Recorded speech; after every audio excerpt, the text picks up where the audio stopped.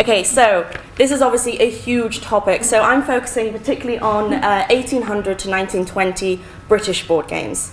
Uh, so, and I'm going to do a kind of whistle stop tour looking at various examples uh, of a handful of games that hopefully can be used as ciphers for broader topics.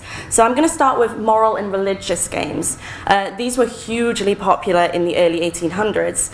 And in terms of games being used to promote particular ideologies, they're perhaps the most blatant. Uh, so this is the new game of human life, uh, which was published in just before the time period, 1790, by uh, John Wallis, the aforementioned ancestor, and, uh, and Elizabeth Newbery. So this is a moral race game. So I'll quickly explain what a race game is. So most of the games we'll see are race games. Uh, they're very basic, uh, aiming to get to the finish before the other players. Think kind of snakes and ladders. Uh, certain spaces you land on may ever help or hinder your progress. So this game is subtitled Being the Most Agreeable and Rational Recreation Ever Invented for youth of both sexes. So if you think advertising now is over the top, go back to about 1800 and you'll really see it ramped up. Uh, so it's played uh, as a journey through life from uh, year 1 to 84. The age of man is divided into seven periods of 12 years, infancy to, infancy to youth, manhood, prime of life, sedate middle age, old age, decrepitude, and dotage. So now players use a teetotum to progress through life. I think you mentioned before uh, the weird spinning top is what a teetotum is. Now uh, the reason this is used is because dice uh, were very much avoided in games like this. Dice had a, had a symbolism with the devil, with vice, with gambling, so they were generally avoided. Um, so they progress through life. Uh, along the way, they encounter a variety of typical situations. The manufacturer describes the advantages of the game like this. If parents who take upon themselves the pleasing task of instructing their children or others to whom that important trust may be delegated will cause them to stop at each character and request their attention to a few moral and judicious observations, explanatory of each character as they proceed and contrast the happiness of virtuous and well spent life with the fatal consequences arising from vicious and immoral pursuits, this game may be rendered the most useful and amusing of any that has hitherto been offered to the public. I've tried to cut these down, but I will warn you, there's a few of these very uh, you know, long quotes. They really like them. As you see, all of this around is all explaining the game. Uh, and the various, not all of the, uh, so here you go, you start with the infant and you go up to the immortal man. Now it's interesting to say there is a French variety of this game where uh, Voltaire is the man you, you, uh, who symbolized it. This doesn't specifically says, but I've got in touch with a few historians. And we may have narrowed it down to a couple of, uh, we think he may be a very famous judge at the time, but I'm not sure yet. I'll have to get back to you on that. Um, so yes, you're meant to play with a guardian, a parent who will guide you through it, who will explain each of these things. You know, this isn't something you, a child sits down and can play by themselves. These things are very, very wordy. So uh, another one of these uh, types of moral race games is the new game of emulation. So, and also another subtitle, designed for the amusement of youth of both sexes and calculated to inspire their minds with an abhorrence of vice and love of virtue. Uh, so this was published in 1804 by John Harris. It's another moral race game. So the slip case, which you see, which was what it, uh, the uh, paper would be folded into, um, is a, has a pictorial label showing Apollo and Cupids. Uh, the game itself contains uh, many allegories relating to the world a child may come into contact with. There's a shepherd, a school, a church, bishop, rocking horse. Um, all 66 emblematic figures are designed to teach children to cheerfully exert themselves to obtain an honorary prize, uh, while being perfectly aware of the consequences of disgrace and naturally dread it. These games aren't light-hearted. um, feel very sorry for the 19th century children where this was the highlight of their learning experience. So the game was advertised as follows. I'm warning you now, this is another long quote, so bear with me. It is universally acknowledged that a spirit of emulation should be constantly encouraged in the rising generation as the surest means of facilitating their progress in the paths of literature and impressing, impre impressing their opening minds with the love of virtue. Youth are ever anxious for applause and rumination, and will cheerfully exert themselves to obtain an, an honorary prize, even when admonitions and menaces prove unavailing. They will be led, almost imperceptibly, to admire and adopt the virtues of obedience, truth, honesty, gentleness, industry, frugality, forgiveness, carefulness, mercy, and humility, and to view in their real colours the opposite vices of obstinacy, falsehood, robbery, passion, sloth, intemperance, malice, neglect, cruelty, and pride. Right. so that's the advert for this. That's the selling point. And what we see here with games of this time, there's the idea that this habituating habit, getting habits into children through play, through repetitive, through reading at them, basically brainwashing them with these kinds of games. So the path to matrimony uh, was published in England in uh, 1893 by an unknown publisher. Uh, it actually has a, compared to a lot of the other games we'll see, has a very plain design. Um, it's a simple spiral race game again, starting at the, grace of the, uh, the grave of Venus, sorry, and finishing at the altar, you know, as all relationships go through. Uh, several of the playing spaces are illustrated. Uh, I zoomed in just to get a couple.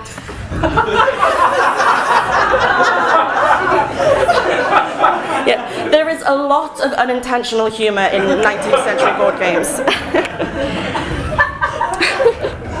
so the illustrations are all to do with progress of a courtship leading or not, as the case may be, to marriage. Uh, so the examples include salute leading to smiles, uh, for forward movement uh, and unworthiness leading to rejection and, and going backwards.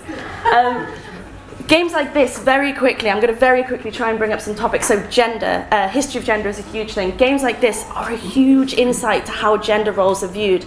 I mean, here we have uh, the game, uh, as with most games this time, the pronouns used for players are he, they're a man, you expect to be a boy, although a lot of these games were designed, as we've heard, for youth of both sexes.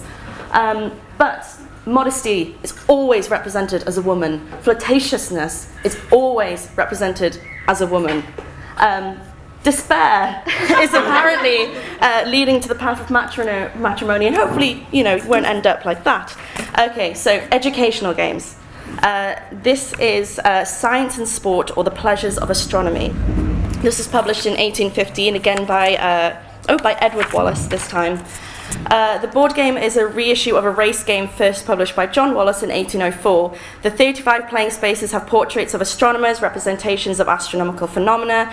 Uh, in addition uh, to facts about the nine known planets and their orbits, the game also features uh, fiction, the man in the moon, uh, signs of the zodiac, comets, rainbows, and behavior, which is interesting. So you have the studious boy and the blockhead are spaces on this, showing still a connection between the pursuit of natural philosophy, the kind precursor to science, as it were, um, and astronomy with good character and strong morals. Uh, so these games are often played, so again, you have all the representations or the pictorial representation on the board, then you have a big booklet, and uh, the booklet explains each of these. And so a favourite of mine is from The Man on the Moon, which is number 15. You can see him just up there. And so uh, in the booklet it says this. Um, it is the ridiculous idea of some ignorant people that there is a man in the moon with a dog and a bundle of wood who causes the different appearances of it by eating it away, while they say it grows again every month. That you may know better, go back to number 13 and read to yourself the description you find there. Very earnest. Um, Again, uh, something quickly of note in the description in the booklet, uh, the sun is masculine, still referred to as he. Uh, the moon is feminine, it's she, it's her. So again, uh, interesting, just uh, just little insights that these games can give us. So just very quickly, this is McDowell's musical game. This is a very rare example of uh, a game aimed for young ladies, purely referred to the players as women, and this is because at the time uh, learning music was very much a feminine pursuit. It's, uh, it wasn't seen as a masculine thing to do, it's very much a thing for young ladies to learn to play the piano, and so games like this would help them.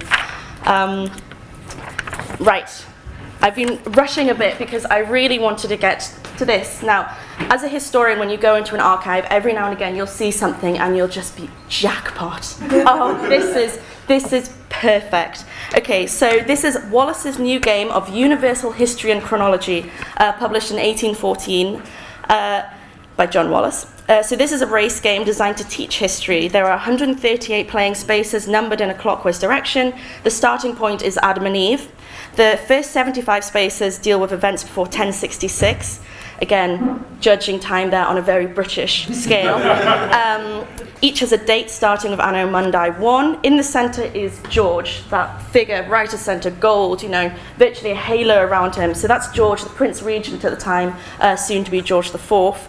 Uh, the accompanying booklet has a list of, uh, of all the spaces with their titles and dates. Some have additional, information, uh, some have instructions on rewards and forfeits, so things like this is the Battle of so-and-so, name three generals that died, and you know, really fun stuff like that. Uh, really wants to get the kids learning um, visually. So this is the beginning, there there's Adam and Eve, beginning there. So yeah, the way that a society portrays history often gives you a fantastic insight into how that society thinks of themselves. Uh, so this game is just symbolically is, uh, is wonderful for how Britain at the time viewed itself. Um, so it's uh, remember that this is the universal game of history. yeah, it starts with the Bible, it goes on to classical history, and then it goes on to almost purely British history with a few smatterings of European history in there, you know, just to keep it universal. Um, just the fact that everything snakes round to the Prince Regent here, a symbol for Britain at that time. Um, you know, I could spend hours and hours just dissecting this game alone, but I'm very aware that I have to move on.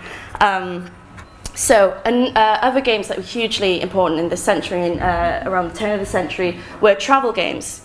Uh, often focused on Asia, on India, on the empire. Now, this is where you get uh, colonialism and uh, empire rearing its head and getting into everything like it did. So, uh, this game over here is the Noble Game of Elephant and Castle, or Travelling in Asia. So this is published in 1822 by William Darton. Uh, the game stresses learning through reading as the booklet has 84 pages of text to accompany the 24 compartments. So if you think kind of, I don't know, modern video games where you go, you have to read about like the lore is bad, try playing these games. Um, so, and it has information covering Asian customs, events, persons of note. Uh, the purpose of the game is set out in its subtitle is to combine amusement with instruction for youth of both sexes. This idea of uh, habituating, of uh, creating habits of learning somehow is constant throughout the century. Uh, so actually, one thing, inside the instruction booklet for this game, uh, I found a poem that came in it, and it felt like a very Jumanji moment. I was like, oh, I wasn't expecting this, and I thought I was going to get sucked into the game. But, um, but it's actually really good at demonstrating the uncomfortable relationship between educational board games at this time and gambling. Like we said before, teetotums were used to avoid dice. Uh, so just a little uh, snippet from this poem, which is called The Caution or A Friendly Hint. Uh, in the play, there is something to learn. Improvement with mirth is designed. And least we can do for such care, while moral sinks deep in the mind, is to play its rules open and fair. The gambler all hate and despise, for he plays to cheat and to gain, but we to be better and wise, and neither to cause nor feel pain. So that's just uh, the high, lofty moral upstanding that these games will obviously give you.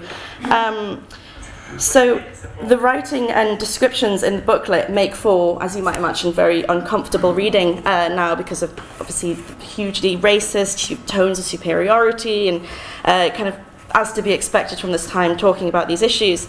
Um, on the bottom, as you might be able to pick out there, are uh, portraits of various races each showing characteristics, and the booklet goes into more detail about them. Um, oh, wow, I'm going to have to really hurry up. okay. um, okay, so I thought the ending paragraph of the booklet for this summed just the tone up wonderfully. It says, but I conjecture there is not one of the company now present who prefers these eastern scenes to the beauties of old England. For who would prefer the society of all, or any of the great folks we have met in the course of our uh, peregrinations to the easy and honest civility of John Bull and his snug family party and domestic comforts. Yeah, these, uh, these games are just, just so telling of how Britain viewed itself at this time. This idea of the other, of exploring, but at the end of it all, of superiority, as as we all know with the empire. I'm going to have to skip through very quickly. Okay, this is Happy Families. so this is this is just to quickly acknowledge that uh, games made purely for amusement can still show us little things. Uh, basically, it's made for just for amusement. but this tells you huge things about familial relationships and gender politics at the time, basically. Uh, war games. War games were a thing. they were uh, very popular in the 19th century, focusing on kings, knights, recreating great battles. Uh, became huge during World War One with these two games, often uh, having you fighting as the Allies against Germany. Uh, right. Yes, okay, so an increase in games influenced by war. Uh, also in the early 20th century, we saw an uh, increase in board games being used directly to address political issues. Uh, the board games produced and distributed by the suffragettes are perhaps the best example of this. Unfortunately, I couldn't get pictures because of copyright reasons, but Pank-a-Squith and Suffragettes in and Out of Jail were both race games made to promote the cause of women's suffrage, and it was used, uh, used as a medium to demonstrate the difficulties of being a suffragette. So, hopefully this very brief, very panicked overview, I've managed to show uh, how multiple disciplines of history can be explored in board games. Uh, they should never be purely put in the box of history of childhood uh, because they also address history of leather, of gender, politics, religion, you know, just to name a few. Uh, they're also material objects, they're things. So to explore these, uh, these themes through an object when the printed word is often dominated, how we view this period is hugely important. Uh, as objects, they're a mixture of design, of art, of words, but most importantly, play. Uh, never lose the play aspect of these things, the fact that these are only half the things that make it, the people playing it are the other half. Uh, it's a hugely important facet of games. Right, very briefly, last point. Okay, I'm sorry. so as we know, nothing is created in a vacuum. Your surroundings feed into whatever you create. The fact that these board games were rarely published to be a commentary uh, perhaps make them perhaps makes them even more valuable. They can be used as windows uh, of, to understand the society that produced them. So I'm aware I'm uh, talking to an audience of a lot of game designers here. So I'm going to leave you with the slight existential crisis uh, that no matter how abstract you think your game might be, uh, one day a very rushed historian may be standing up and using using your game as an example of a product of its time. Thank you.